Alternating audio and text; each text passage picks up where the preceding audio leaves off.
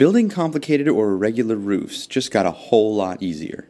With Vectorworks 2011, you can use the Connect Combine tool to trim or extend a roof face to another roof face, a roof object, and some 3D solids. Before, you had to use multiple steps to determine the intersection points for roof faces.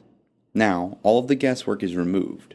For example, to connect these two smaller roof faces to the main roof, you can simply activate the Connect Combine tool, then click on the roof face, and click the roof the face should be extended to.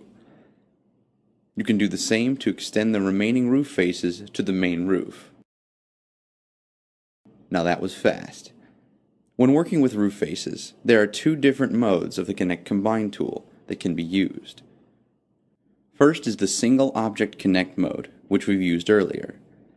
This mode trims the first selected roof face to the second roof face object. This is also the mode you will use when connecting a roof face to a non-roof face object, like this shell.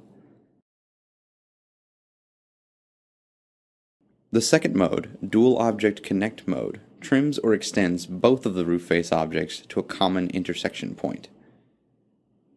Lastly, notice how the thickness for these roof faces are not the same.